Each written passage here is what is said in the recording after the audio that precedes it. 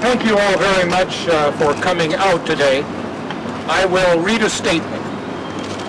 First, please let me apologize to my family, friends, and staff, and fellow Idahoans for the cloud placed over Idaho. I did nothing wrong at the Minneapolis airport. I did nothing wrong, and I regret the decision to plead guilty and the sadness that decision has brought on my wife, my family, friends, staff, and fellow Idahoans. And for that, I apologize. In June, I overreacted and made a poor decision.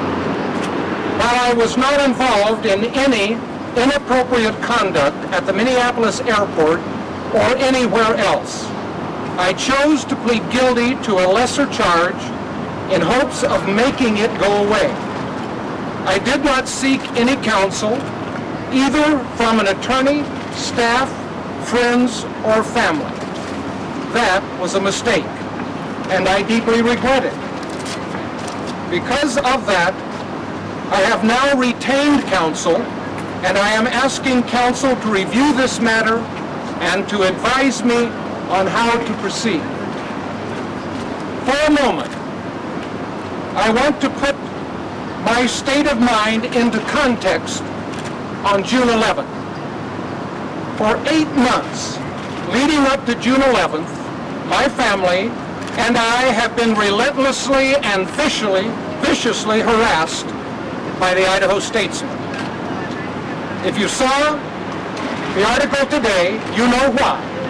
Let me be clear. I am not gay. I never have been gay. Still, without a shred of truth or evidence to the contrary, the statesman has engaged in this witch hunt.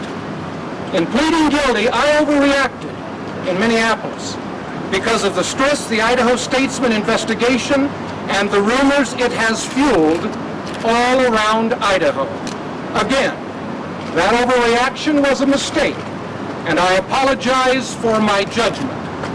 Furthermore, I should not have kept this arrest to myself, and I should have told my family and my friends about it. I wasn't eager to share this failure, but I should have anyway, because I am not gay. I love my wife, my family, I care about friends and staff and Idaho. I love serving this great state. Over the years, I have accomplished a lot for Idaho, and I hope Idahoans will allow me to continue to do that.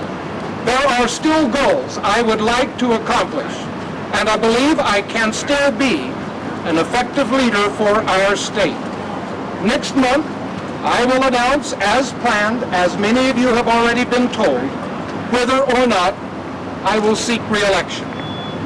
As an elected official, I fully realize that my life is open for public criticism and scrutiny, and I take full responsibility for a lapse in judgment I made in attempting to handle this matter myself.